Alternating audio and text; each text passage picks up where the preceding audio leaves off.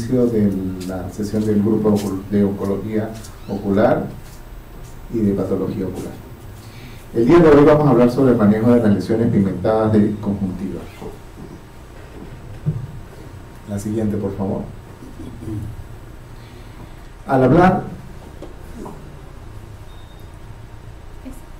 al hablar de tumores conjuntivales, eh, primero tenemos que clasificarlos en epidermales. dentro de los epidermales están los no melanocíticos y los melanocíticos, los estromales, vasculares, de tejido fibroso, de tipo de origen neural, histiocítico, mixoide, neogénico, lipomatoso, linfoproliferativo, congénitos como el amartoma, el colistoma, tumores carunculares, metastásicos, carunculares, metastásicos, secundarios y lesiones enmascaradas. El día de hoy nos vamos a enfatizar en los tumores epidermales no melanocíticos y melanocíticos. La siguiente, por favor. Ahora, en la clasificación de tumores epidermales de la conjuntiva, dentro de los melanocíticos están los tumores benignos y los premalignos y malignos. Dentro de los tumores benignos tenemos los nebus de conjunción, los nebus compuestos, los nebus de Spitz, los nebus azules, las, las em, melanosis primaria adquirida sin atipia, la melanosis congénita y la melanosis racial. Dentro de los premalignos tenemos las melanosis primaria adquirida con atipia, el melanoma originado de nebus, el melanoma originado de la melanosis primaria adquirida y el melanoma originado de novo. La siguiente, por favor. Al hablar de los tumores melanocíticos, el primero es el nebus conjuntival. El nebus conjuntival se caracteriza por ser una lesión circunscrita que representa la más común de todas las eh, lesiones melanocíticas conjuntivales. Es más frecuente en pacientes de origen caucásico y están los congénitos, que son los que aparecen al nacer o dentro de los primeros seis meses de vida y los adquiridos, que son los que aparecen seis meses después del nacimiento hasta las dos primeras décadas de la vida. Esto es muy importante tenerlo en consideración, porque si aparecen nebus después de la segunda década de la vida, siempre hay que ser evaluados, ya que pueden representar casos de melanosis primaria adquirida o melanomas. La siguiente, por favor. Las características de un nebus conjuntival son, de un nebus conjuntival compuesto, son, son los llamados elementos quísticos, ubicados en la parte superior de la conjuntiva vulvar, cerca del limbo, y rara vez van a involucrar a la córnea. También se localizan en las regiones interpartebrales. El riesgo de los nebus conjuntivales de transformación maligna se dice que es alrededor del 1%. La siguiente, por favor. Las características histopatológicas de un nebus conjuntival como ya lo mencioné, son las estructuras quísticas que vamos a encontrar cubiertas por el epitelio conjuntival normal. La siguiente, por favor. Los nebus de conjunción se encuentran también en etapas tempranas de la vida, pero ellos van a, se van a encontrar células a lo largo de la interfaz del epitelio y la sustancia propia. Y son células que contienen abundante citoplasma. Los nebus compuestos van a mostrar grupos de células ya en la sustancia propia de la conjuntiva, además del área de unión, y tienen menos citoplasma, lo que nos indica el grado de maduración de un nebus compuesto. La siguiente, por favor. Los nebus de Spitz aparecen en la infancia y en la adolescencia. Son lesiones no pigmentadas de crecimiento rápido que deben diferenciarse de los granulomas piógenos. Histológicamente vamos a encontrar fascículos celulares en forma de uso perpendiculares al epitelio superficial y las figuras mitóticas reflejan rápido crecimiento y no indican malignidad. Los nebus azules son lesiones raras que surgen de la cresta neural situadas también en la sustancia propia de la conjuntiva, aparecen de color marrón o negro, histológicamente están compuestos por células en forma de uso con pigmentación de melanina uniforme y solo se ha reportado también un melanoma conjuntival que surge de un nebus azul. La siguiente, por favor. Eh, dentro de los tumores melanocíticos benignos está el nebus conjuntival juvenil inflamado. Este aparece más que todo en pacientes niños y adolescentes. Pueden crecer rápidamente y clínicamente, como vemos acá, va a haber un enrojecimiento lesional, estructuras quísticas y se asocian también a la mitad de estos nebus a, lesiones amelanóticas. La siguiente, por favor.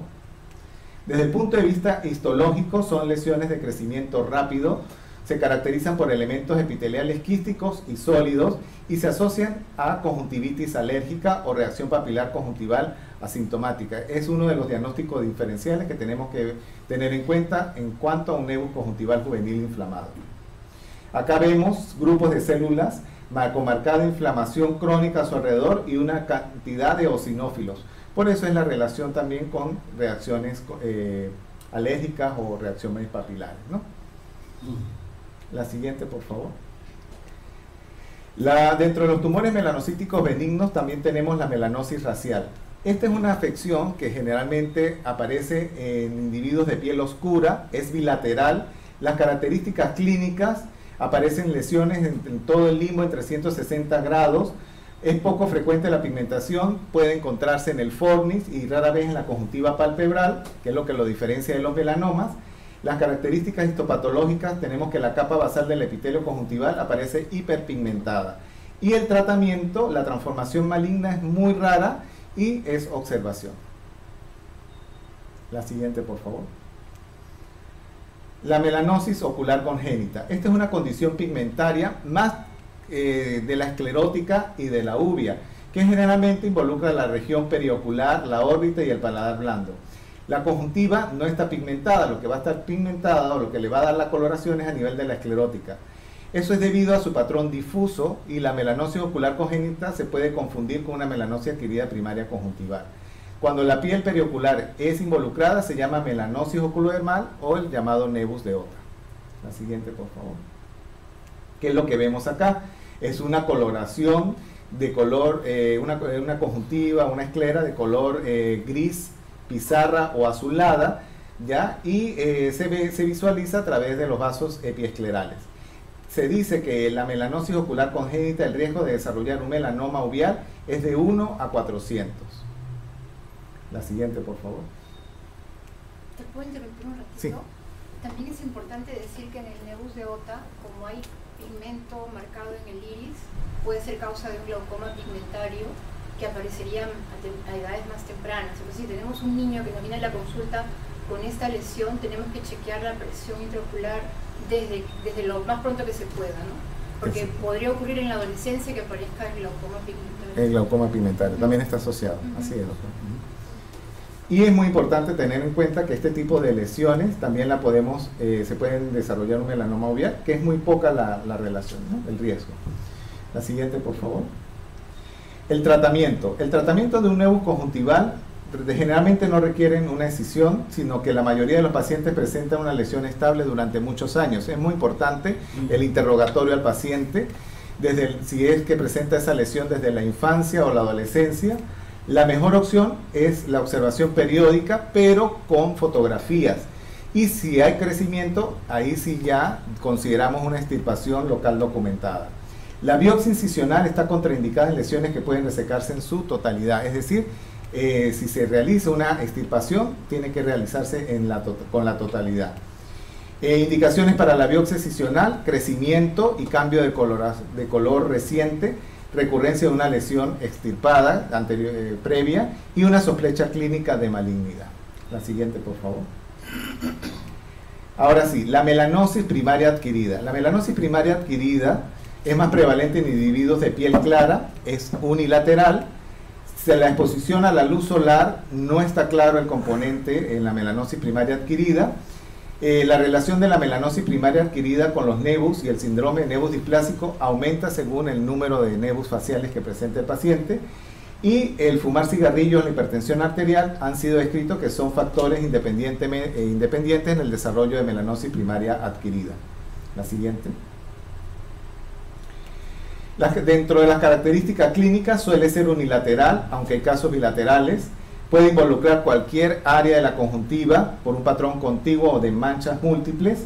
Se desarrolla a nivel del limbo en la región eh, bivulvar y puede extenderse también al epitelio corneal.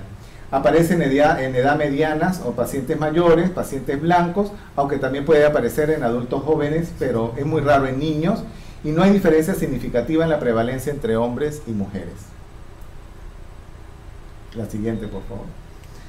Entonces, acá vemos una melanosis primaria adquirida con atipia localizada en la conjuntiva vulvar.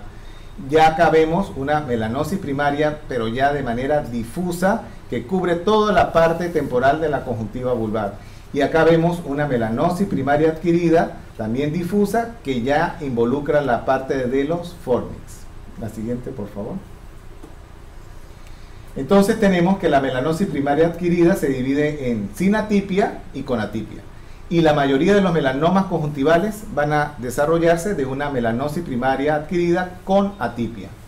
La melanosis primaria adquirida con atipia se dice que está confinada al epitelio y puede desarrollar un melanoma in situ por algunos patólogos que realizan, eh, eh, aquí influyen mucho los patólogos porque es muy difícil eh, es, hacer el diagnóstico histopatológico en estos casos de melanosis primaria adquirida.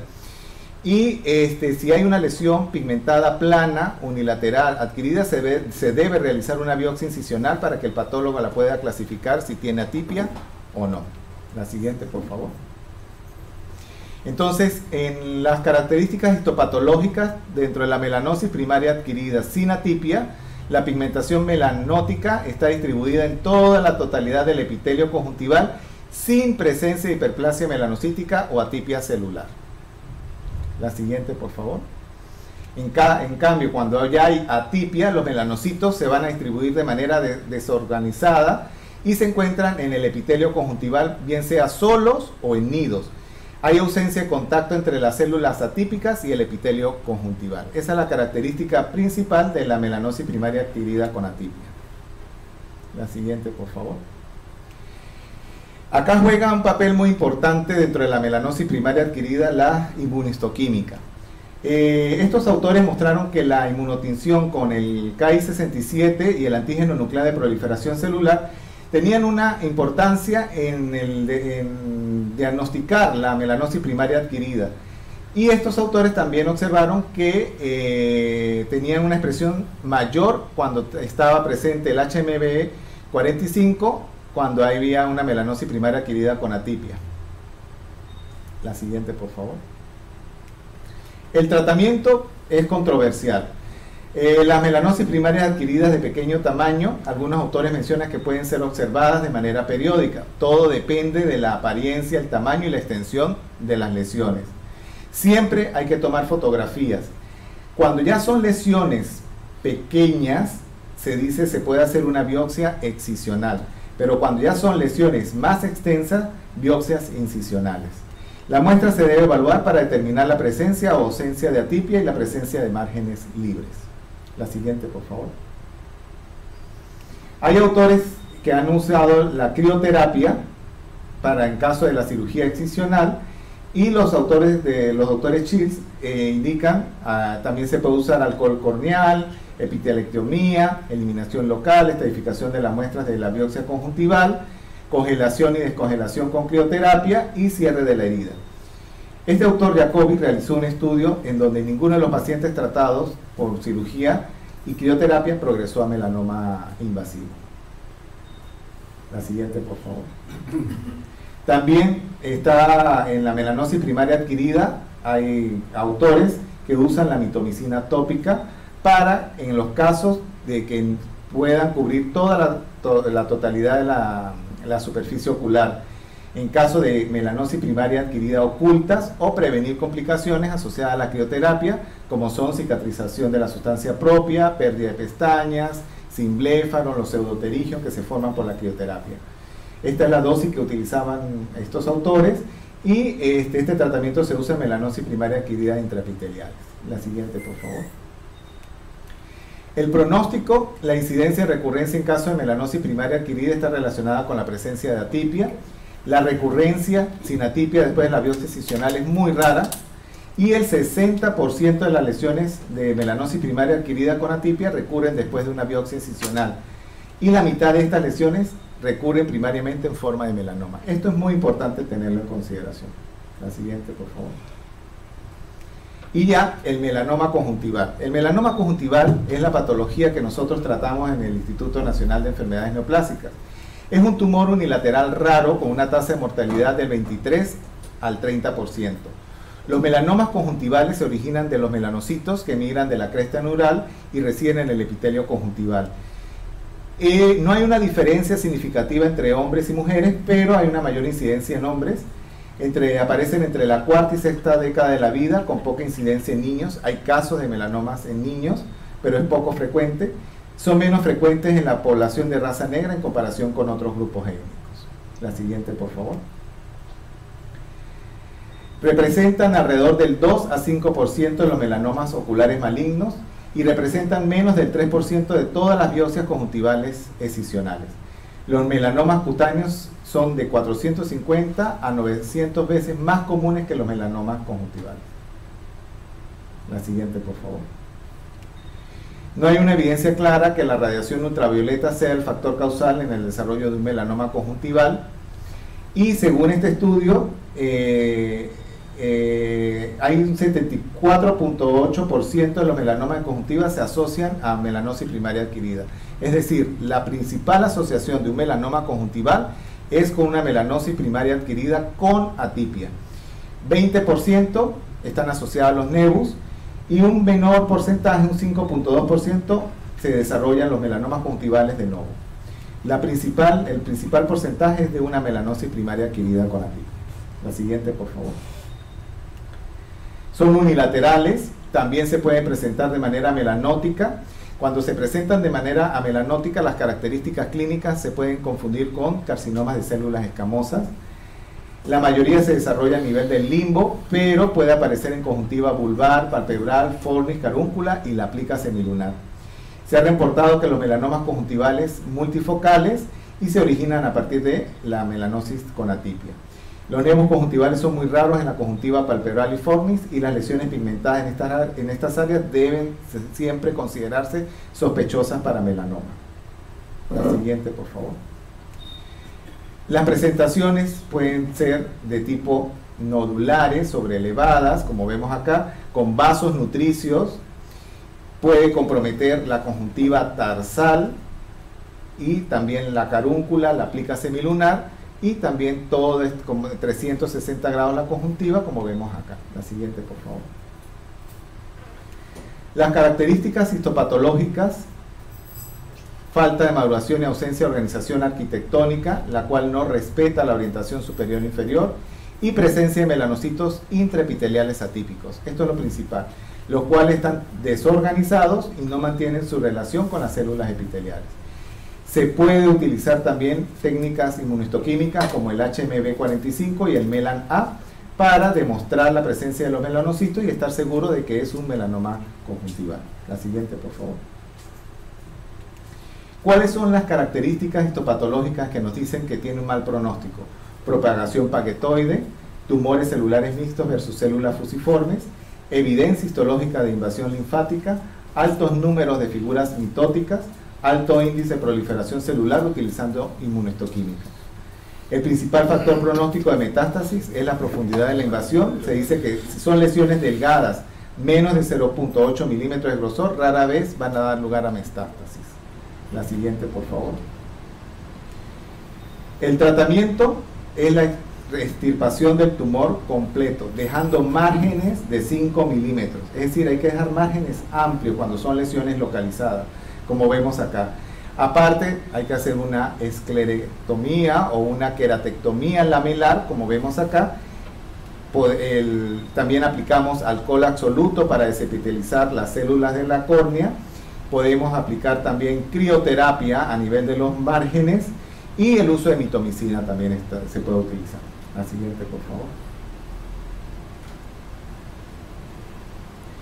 Cuando ya involucra lo que es el tarso, la carúncula y el ofornix, hay que hacer biopsias múltiples. La siguiente, por favor.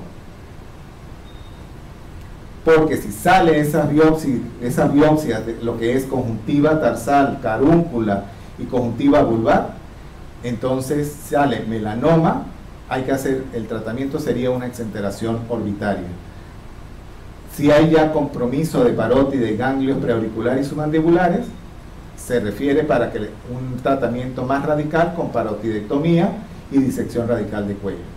Las eh, metástasis son de un melanoma conjuntival, son más frecuentes a ganglios preauriculares y submandibulares. Por eso, cuando nos llega un paciente con melanoma conjuntival, hay que solicitar una ecografía de partes blandas de parote y cuello, palpar los ganglios para ver si hay eh, ganglios positivos. Y lo otro importante que tenemos que tener en cuenta es al momento de eh, explicarle al paciente una exenteración orbitaria, es, esta es una señora que tiene un melanoma, las características que estas eh, las características y es una cirugía radical, pero que le va a preservar lo que es eh, la vida. ¿no? La siguiente, por favor. Y que no solamente queda allí, solamente la cirugía, sino hay también eh, prótesis somáticas que este, le va muy bien al paciente después de una exenteración orbitaria. La siguiente, por favor. Cuando hablamos de una exenteración orbitaria es un, manejo no solo del oftalmólogo, sino multidisciplinario este, ahí interviene el psicólogo, el anatomopatólogo, es todo un manejo multidisciplinario de un paciente porque cuando uno les explica a los pacientes que hay que hacer una desintegración orbitaria, ellos tienden a la depresión y tienen este, otro tipo de comportamiento y es muy importante también apoyarlos en ese sentido. El melanoma conjuntival, el pronóstico, la recurrencia local ha sido reportada entre un 56 a 65% de los pacientes el intervalo entre el primer tratamiento y la primera recurrencia es de 2.5 años aproximadamente. Y la metástasis primaria más común es la regional, es decir, hacia los ganglios linfáticos preauriculares y submandibulares, en un 40-60%. Recordemos, la, el drenaje linfático de los párpados es del tercio interno del párpado superior y lo que es el párpado inferior va hacia los submandibulares y recordemos que el tercio, eh, el tercio externo del párpado inferior y todo lo que es el párpado superior va hacia los preauriculares. Entonces, por eso es que la metástasis del melanoma conjuntival en la primaria es hacia los ganglios. Otras metástasis menos frecuentes son a nivel de cerebro, hígado y pulmón. También podemos solicitar rayos X de tórax, enzimas hepáticas para ver cómo que no exista ninguna otra metástasis. Eh, según varios estudios, la tasa de mortalidad es de 12 a 19% en 5 años y de un 23 a 30% en 10 años. La siguiente, por favor. En el INE, en el Instituto de los Melanomas Oculorbitarios, el 59% son conjuntivales, el 34.4% tubiales y el 6.6% anexiales. La siguiente, por favor. Y este fue un trabajo que realizaron los doctores Cordero, el doctor Serpa, sobre el tratamiento y sobrevida del melanoma conjuntival en el INEN durante el año 1988 al 2000. Ellos evaluaron 25 pacientes, la edad media fue de 56, 56% eran hombres, 44% eran mujeres, el tiempo de evolución era de 2 a 36 meses, el tratamiento fue quirúrgico en todos los casos, la recurrencia local fue 36%, la metástasis más frecuente fueron a ganglios regionales y la sobrevida a los 5 años fue de un 71%. La siguiente, por favor. Bueno, muchas gracias.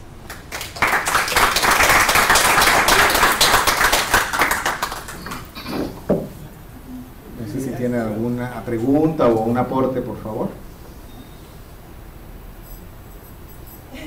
Sí, sí, bueno. Este, bueno, para comentar varias cosas.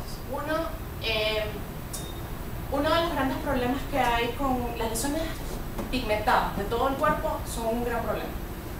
Y cuando es de la parte ocular es peor porque el patólogo general lo quiere tratar como una lesión de piel y no es lo mismo. No tiene las mismas características histológicas ni los factores pronósticos. Entonces siempre hay que estar pendiente de tener una buena comunicación con el patólogo y escribirles bien. Eh, entre esas cosas está lo de las melanosis. Nosotros no tenemos cómo saber cuando una melanosis es adquirida o es congénita. Entonces, lo que se estila por el Colegio Americano de Patólogos, por ejemplo, es que uno nada más le diga melanosis con atipia o sin atipias. Ese es el reporte. Y entre las que tienen atipias puede ser una atipia leve, moderada o severa. Entonces, ya el, diagnóstico de melanoma in situ generalmente es en concordancia con una melanosis con atipia severa. Y es bueno que nos digan ustedes, porque si a usted le parece un melanoma ya in situ o una lesión mayor, pues uno le puede colocar ya el nombre como tal para que el paciente no quede con menos tratamiento. Lo otro es también la comunicación en el caso de los melanomas como tal. porque muchos factores pronósticos están descritos en la literatura, ¿no? Ahí hay algunos, pero están eh, la distancia al borde de resección, hay unos que dicen que las mitosis no son importantes, otros que sí, hay inmunohistoquímicas nuevas como el T16, este, hay unos que dicen que si es, viene de un NEU eh, tiene un pronóstico y otros que no. Entonces es, es bueno uno saber con ustedes cuáles son los factores pronósticos que ustedes necesitan que uno les reporte. Entonces, cuando si hacen hasta un formato o algo, uno les puede comunicar y no, porque hay unos en el TNM, hay unos con el Americano de Patólogos, entonces siempre es bueno esa comunicación. Gracias, doctor. Y la doctora me parece que es patólogo ocular. Sí. Quisiera luego hablar con usted por una invitación a participar en un segmento de patología ocular en el Congreso Real Panamericano de Patología yo soy oftalmóloga, usted es patóloga, es un patóloga especialidad, o sea, son diferentes convergencias. Pero lo que dice la doctora es preciso y es un problema que siempre tenemos, como yo en mi caso como patólogo ocular, ¿no? No nos mandan la información adecuada en las órdenes de patología. Eso es algo que siempre tratamos reiteradamente con clases y demás, que mejoren la comunicación. La comunicación incluso puede ser previa a la operación del paciente, pues para que ustedes sepan qué cosa necesita ese paciente, cómo le podemos mejorar el servicio, ¿no? Eh, hacer una comunicación ante, ante la otra puede ser ya en el momento del postquirúrgico con una orden de patología bien llenada, como bien dice la doctora, uno en las melanosis muchas veces solamente ve el incremento de pigmentación melánica en el estrato basal del epitelio y si no hay una historia puede ser una melanosis facial, puede ser cualquier cosa. Entonces tienen que decirnos el tiempo de evolución, si es congénito o no. Esa información es valiosísima para nosotros. A veces nos ponen hemograma tal, eso no nos interesa, nos interesa la historia clínica, ¿no es cierto? Entonces, y eso, es básico en lesiones pigmentadas. Y como dice el doctor, siempre deben hacer un seguimiento con imágenes. Llega el paciente, tiene que tomar una adecuada historia con el tiempo de evolución, poner los datos del tamaño de la lesión en el momento de la evaluación y su foto clínica y si es posible esa foto clínica que también se le lleve el paciente, porque no es raro que el paciente empiece con uno, pero luego por cosas de la vida acabe con otro médico y se queda sin información. Y lo que nos interesa es que el paciente tenga un seguimiento estrecho, ¿no es cierto? Entonces siempre pídanles que traigan un CD o un, este, USB y ustedes descarguen la información.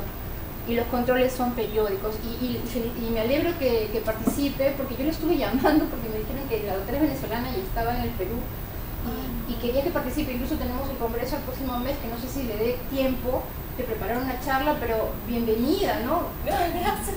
Bienvenida acá. Gracias, doctora. Yo tengo una pregunta.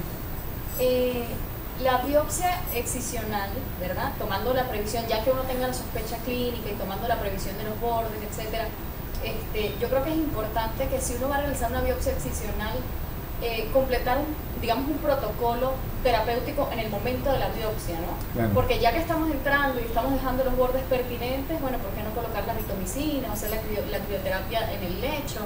Y lo otro importante es que en el momento de resecar la lesión, eh, muchas veces la tendencia es a deslizar o a rotar colgajos conjuntivales. Y en estos casos, pienso yo, que lo ideal es más bien colocar injertos de membrana amniótica donde no desplacemos mucho los bordes del lecho que queda. Por si acaso alguno de los bordes queda tomado, hay que hacer una ampliación de la resección, etcétera, tener los puntos de referencia claros, ¿no? Y entonces tratar de no, no deslizar colgajos ni hacer aproximación para intentar cierres primarios, sino por el contrario, aunque no sea muy extensa el área, tratar de hacer un injerto tratando de preservar esa área de resección en el lugar donde está. Claro, el protocolo que nosotros eh, usamos allá en el instituto es dejar eh, esclera libre, por si hay, como usted dice, la, la para ampliar márgenes, ¿no? No, colocamos eh, membranas, se pueden colocar o colocamos cuando son extensas, lesiones extensas que comprometen gran parte de la superficie ocular, ahí usamos membrana amniótica. Eh, lo otro es el uso de mitomicina. El uso de mitomicina no la usamos solamente a nivel posoperatorio, en gotas tópicas, eh, no transoperatorio. Y también la crioterapia no la estamos usando, sino solamente dejamos 5 milímetros de margen. Lo que sí usamos es el alcohol absoluto para desintetilizar la, las células.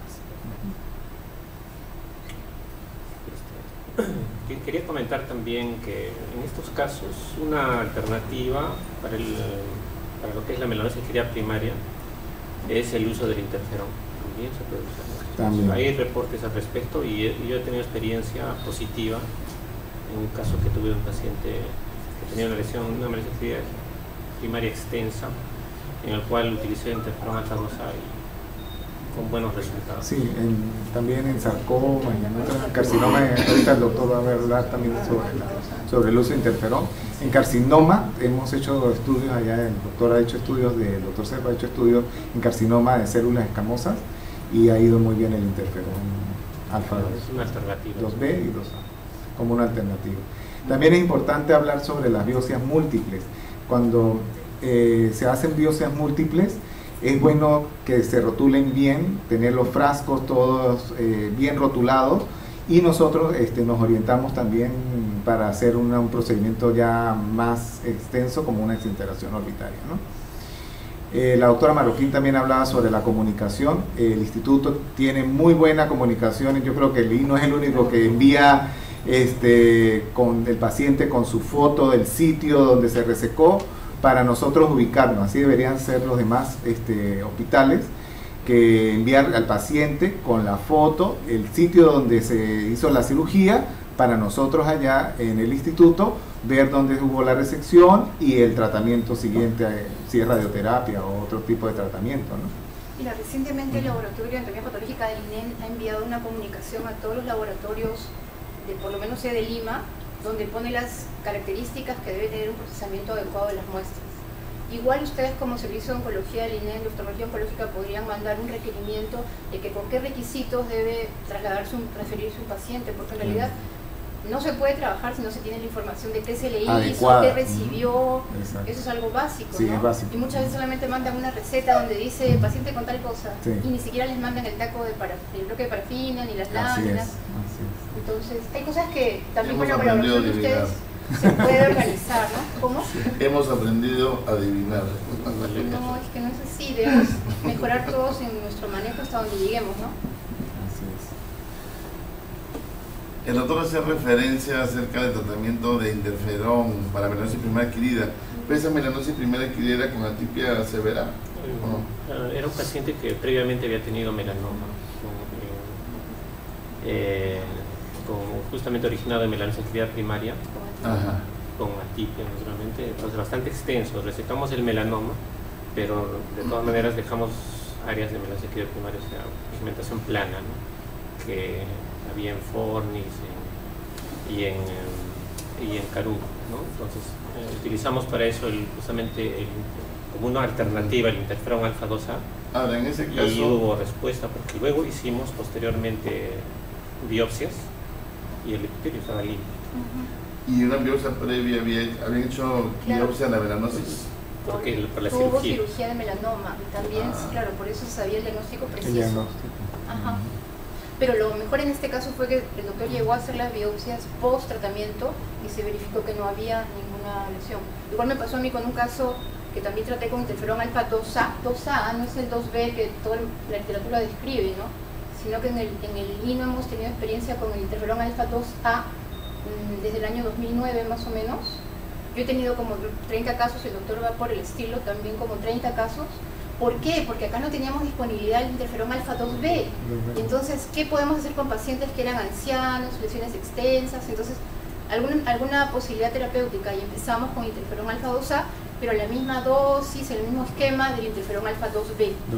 Entonces, tuve un caso en que la lesión cubría toda la córnea, bueno, media córnea, mejor dicho, y la conjuntiva limbar solamente fue con manejo interferón alfa 2A y la lesión desapareció completamente. Pero lo envió un control ecográfico y me describieron que había una, una tumoración en la conjuntiva nasal, pero ahí había un terigio, ¿no? Pero bueno, ya que me decían no podía dejarlo sin pasar y tuve que pasar una cirugía en toda la zona que había sido eh, conjuntival de la lesión previa, aunque no se veía lesión ya en ese momento clínicamente. Y lo que encontré fue que no había tumor, pero había sido un foco de inflamación. Entonces, esos son los casos mejores porque tienen confirmación post-tratamiento, ¿no? que no hay tumor. Algo importante es que cuando uno ha hecho una resección de melanoma con márgenes negativos y en el futuro aparece melanosis, entonces uno tiene que discriminar si es recurrencia o solamente es eh, melanosis, ¿no es cierto? O es solamente pigmentación. Eso es importante. Lo que nosotros hacemos siempre ante la presencia de una nueva pigmentación es hacer biopsias. Y si aún eso tomamos una conducta. Nosotros no usamos interferón ni mitomicina para esas lesiones. Mm. Eh, si sale melanosis primaria adquirida con atipia y solo es informado así, nos comunicamos con el patólogo para que nos diga si es que hay atipia severa o no. Pero como dijimos, ya la atipia severa va melanoma, desarrollar en melanoma, ¿no es cierto?, en los siguientes dos o tres años. Entonces es importante, si el patólogo dice melanosis primaria adquirida, saber si tiene atipia o no. Si tiene atipia, tomamos una conducta quirúrgica si no es el caso, podemos observar. y la situación nuestra es que antes cuando sea onco yo o el doctor que, que ahora hace onco, veíamos la lámina. Entonces, lo que uno aprende cuando ve al paciente, actúa quirúrgicamente y luego ve la lámina es enorme, ¿no es cierto? Entonces, en realidad, todos los que operan lo que sea, no solamente tumores, deberían ir a ver las láminas porque si su comprensión de la fisiopatología de la enfermedad sería enorme. Entonces uno también aprende a ver sus errores. O sea, yo en mis láminas veía si había operado bien, si me había, había hecho algún error, si, bueno, si le había demorado mucho la cirugía, ¿no? Entonces esas cosas eh, son maneras de que uno mismo se autocritique y mejore. Entonces siempre debe ir al laboratorio. Y nosotros, bueno, ahora ya no hago oncología, solamente estoy en pato, el doctor sigue haciendo oncología, nosotros encantados de recibir al residente que quiera venir con su lámina, con su material, con su fotoclínica, ¿no? Para... ¿Cómo? No solo el residente, el oftalmólogo. Ah, bueno, el oftalmólogo, pero eso está más raro, pero más difícil, porque ya no me acostumbre. Por eso es que hay que mantener una buena comunicación con el patólogo. ¿Qué haces ante una lesión pigmentada de conjuntiva? Eh, digamos entre 3 y unos 10 milímetros de diámetro, plana, no está elevada, es una pigmentación uniforme. El paciente tiene entre 15 y 40 años, pero te lo envía un colega porque el paciente ha referido de que la lesión ha crecido moderadamente y se ha hecho un poco más oscura en los últimos 12 meses. ¿Qué conducta tendrías? Resección de la lesión, precisión completa de la lesión. Eh, muchas veces me topo con lesiones que nos derivan este, y uno lo ve y dice esto es un neus. Es una lesión, bueno, sin presencia de quiste, la presencia de quistes conjuntiva no dice que es un neus, ¿no? Pero hay lesiones planas, sin quistes, en donde la pigmentación es uniforme, es una lesión muy delgadita, ¿sí? Y uno dice, esto es algo benigno definitivamente. Pero en esos casos, yo ya aprendí ya con 16 años haciendo oncología, de que basta que la familia me diga o el paciente si está un poquito más oscuro o que ha crecido, ligeramente, para mí ya basta para ir a hacer la operación. Y en esos casos ya me he topado con más de 8 melanomas y 3 de esos pacientes menores de 16 años. Así que para mí toda lesión pigmentada que crece o se pigmenta, sea o no con colores olvigarrados o sea una lesión sobrelevada, todos van a una biopsia con criterio oncológico, como tú dijiste, no, no con un margen de un milímetro, no. Tratar como si fuera un melanoma. Dejando un buen margen y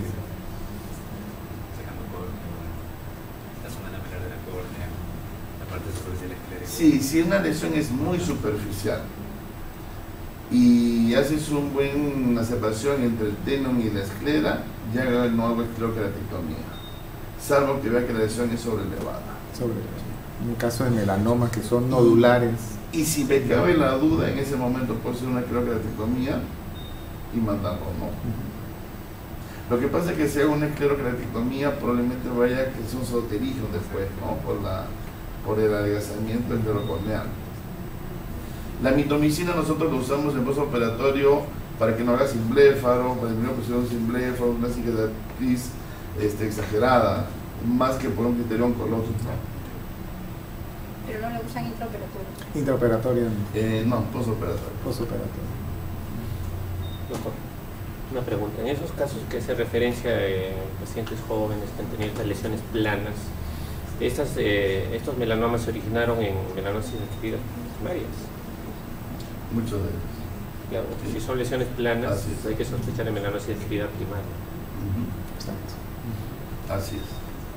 Pero eso es, se puede diagnosticar histopatológicamente eh, en algunos casos. sí, pero no, no refieren. Ajá.